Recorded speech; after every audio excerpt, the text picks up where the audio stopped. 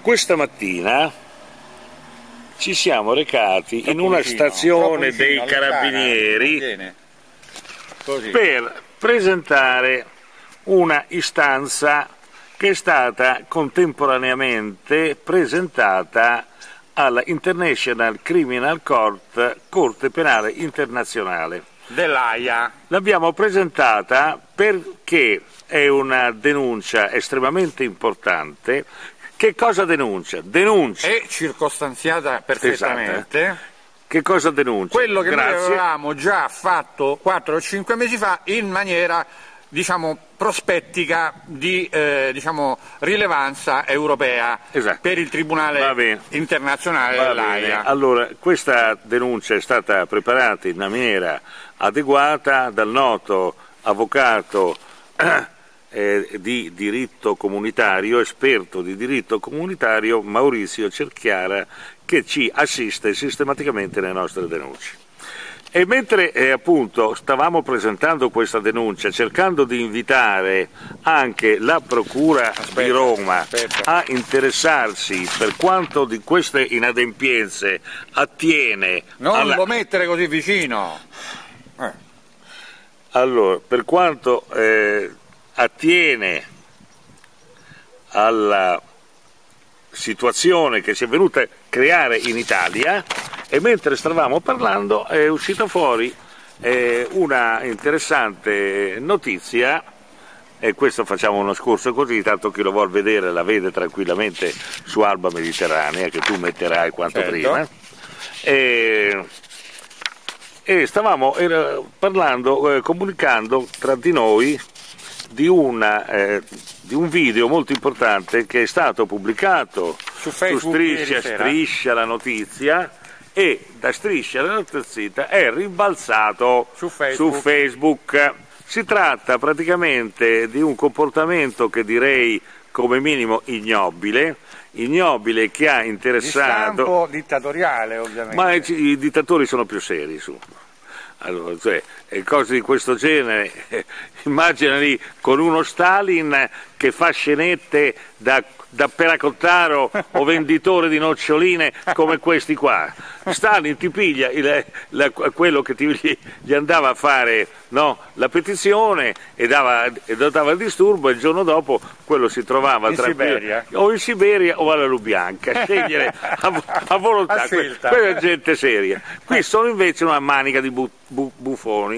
Allora, mentre l'attuale presidente eh, della Repubblica eh, faceva un suo intervento in una nota scuola per educande un, una persona degnissima eh, era intervenuto per, una, per presentare una petizione.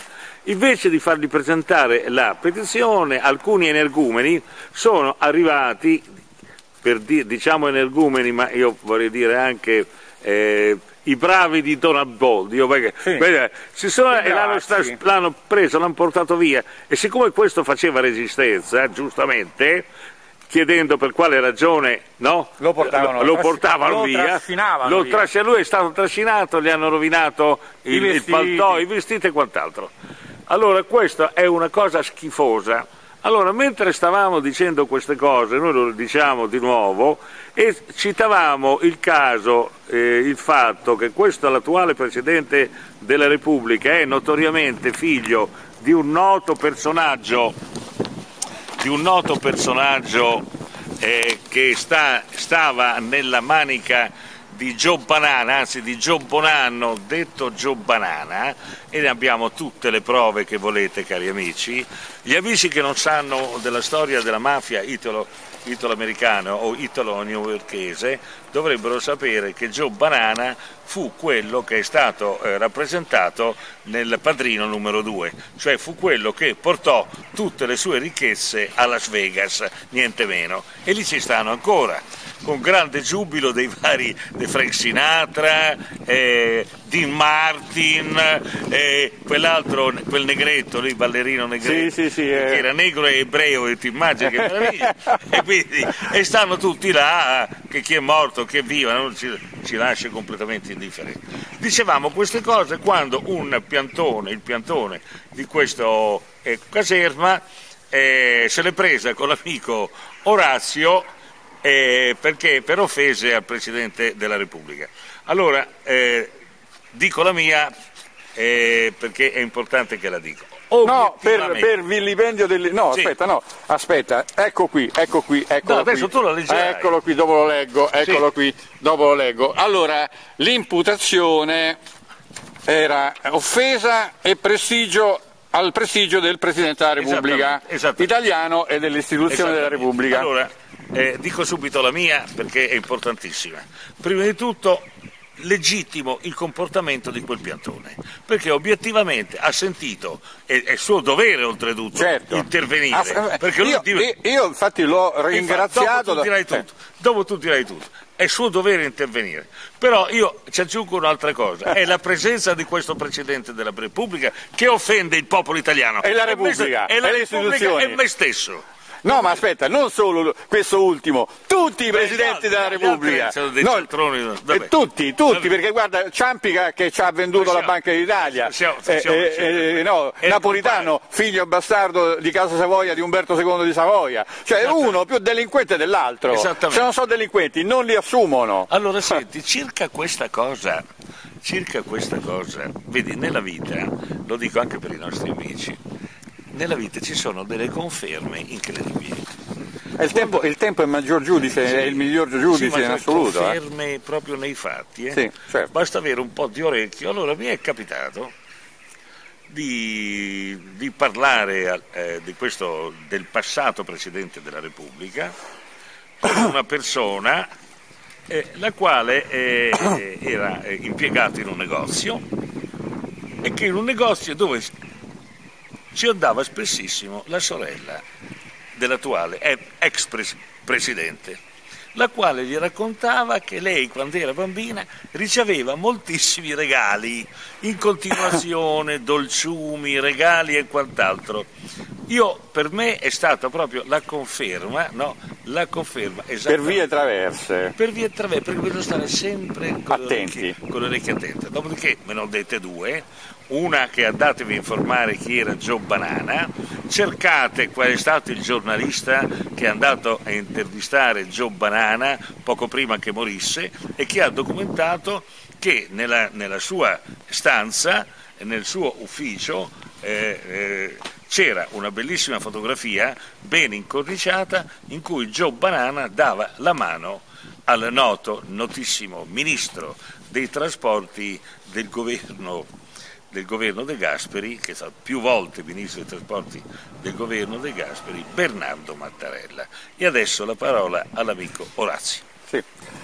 Allora, tienimi lontano che sennò andiamo... Va bene, va bene, ma ci devono sentire. Scoppia il video. Allora, sì. questo è sì. l'atto ufficiale, l'atto sì. non avvicinarlo. Va bene, ma tanto non devono vederlo no, di qui. Allora, poi dopo lo metto su internet. E infatti, lo, lo devono, sì, perché se allora, si legge. Ecco, qua. qui che cosa si dice? Si dice, dopo quello che ha anticipato l'amico eh, Giorgio, L'anno 2016 a D03 del mese di febbraio alle ore 12 in questi uffici avanti il sottoscritto il maresciallo eccetera eccetera effettiva, effettivo al reparto in intestazione si dà atto di procedere all'identificazione della seguente persona indagata a seguito dell'offesa all'onore e al prestigio del Presidente della Repubblica Italiana dell'istituzione fatto avvenuto in data 3 febbraio 2016 alle ore 11 circa presso la sala d'attesa della stazione Carabinieri di Roma Storta alla quale è richiesta di fornire la propria generalità di quant'altro possa servire a identificarla previo avviso delle conseguenze penali di cui si, eh, cui si espone chi si rifiuta di darle o le dà false ti chiama di essere Orazio Ferniani, io lì sono di casa quindi sanno benissimo chi sono. Eh, non è un problema. Eccetera, eccetera.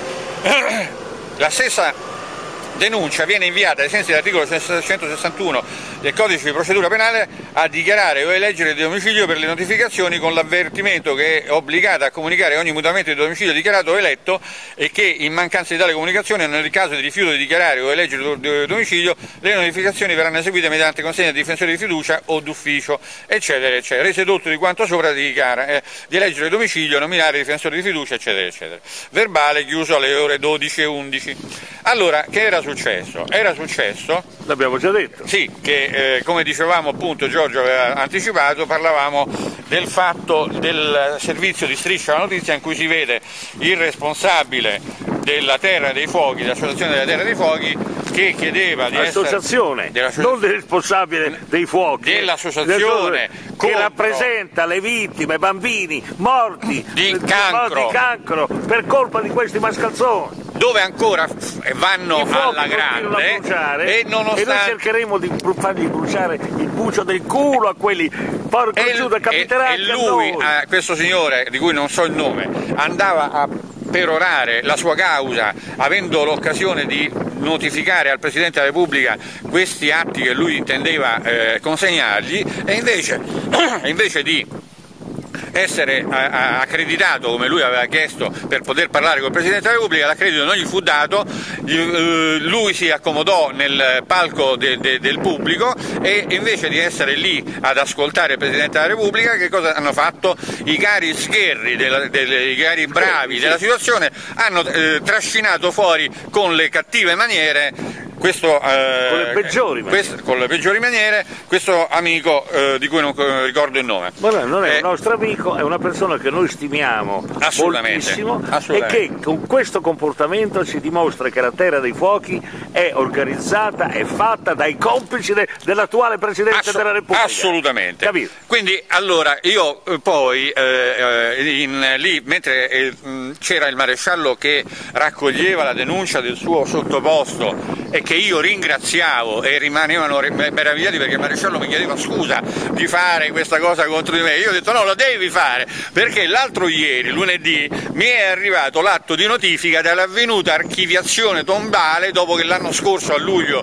del 2015, avevamo chiesto, avevano fatto, avevamo fatto opposizione alla richiesta di archiviazione del PM che dopo due anni di indagine non aveva rilevato che dopo 350 pagine fra documenti e, e denunce denunce non, eh, aveva detto sì, i reati ascritti eh, eh, sussistono, sono veri, non è inconfutabile che siano avvenuti e che i fatti si siano realizzati nel modo in cui li hai descritti, però il, questo lo diceva il tenente de, de, de, della Guardia di Finanza che ci aveva ascoltato, però il suo colonnello che invece riteneva anche lui che i fatti sussistevano, però diceva il Presidente della Repubblica, i, i primi ministri, i ministri, i parlamentari sono una banda di perfetti idioti perché mh, siccome non sono incapaci di intendere di volere il dolo non c'è, ma a me che cazzo me ne frega se il dolo non c'è o non c'è, tu devi sapere che c'è il dolo, Chi, se non lo sa il Presidente della Repubblica e i suoi consulenti, i suoi professori universitari che gli fanno da consulenti, ma chi cazzo lo sa? Esatto. Oh, e quindi questo è il discorso. E quindi il, il colonnello aveva sentenziato così. Il procuratore della Repubblica non ha, non ha potuto aspettare altro, non chiedeva di meglio sì. di, per poter andare assolti questa banda di infami che noi denunciamo costantemente. Ora però arriva insperabilmente, via, sempre lì per vie traverse, questa mia chiamata in eh, reità da parte di questo piantone, il quale mi denuncia per aver io oltraggiato e, e vilipeso il capo dello Stato. Ripeto quello che ha detto Giorgio, qui se c'è qualcosa di vilipeso e qualcuno che vilipende, il qualcosa è la Repubblica, le istituzioni e il popolo italiano. Chi vilipende è questa banda di infami capitanata in questo momento da quel figlio di gran puttana mafioso, e lo ripeto un'altra volta, di Sergio Mattarella e compagni, scendendo giù, giù da, da Matteo Renzi e tutti gli altri. Ecco, oh, no, allora, allora, eh, spero concludere... che questo adesso lo metteremo ovviamente sì. online. Spero che il Presidente della Repubblica lo veda o qualcuno sì, dei suoi consulenti e ci, ci denunci, no, mi denunci che finalmente si riesca a incardinare questo processo, che finalmente andiamo di fronte a un tribunale e gli diciamo qua Assieme tutto... a molti giornalisti, ah, certo, lo diciamo fin eh, da certo. e soprattutto strisce la notizia. Ah, certo. E quindi ecco che finalmente ci sia un processo. Vediamo chi vince.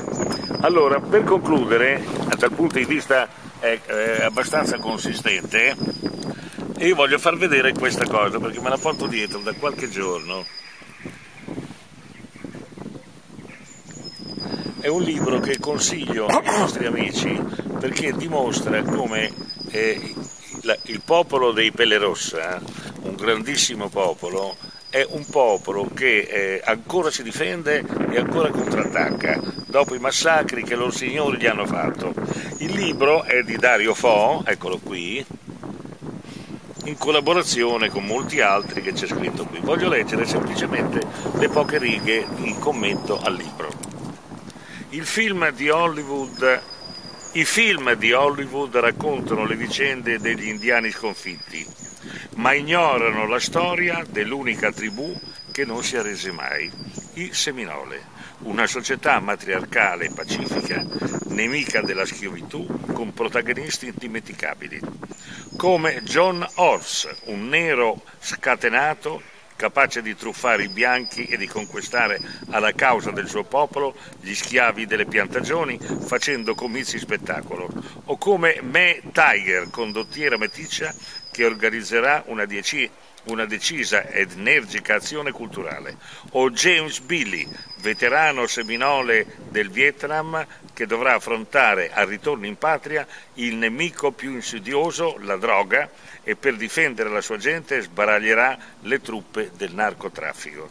Un'incredibile storia di resistenza umana e comunitaria, lunga secoli dai primi insediamenti in Florida allo sbarco dei conquistadores spagnoli, alle battaglie contro le truppe inglesi e poi statunitensi. Eh, ma lì non l'hanno mai potuto sgominare perché lì ci sono le, le, le Evergreen. Sì, e quindi lì dove cazzo hanno? Lì devi venire dentro la palude e nella palude io comando. Sì, esattamente. È scritta come un romanzo da un grande ribelle del nostro tempo e con questo io qui chiudo. Cari amici, con un ottimo starnuto salutiamo il Presidente della Repubblica. Aug, aug, aug, sempre so long e sempre Soccorso. grande rispetto e onore al gran Dio Priapo. E al gran Dio Manitù. Bene, so long.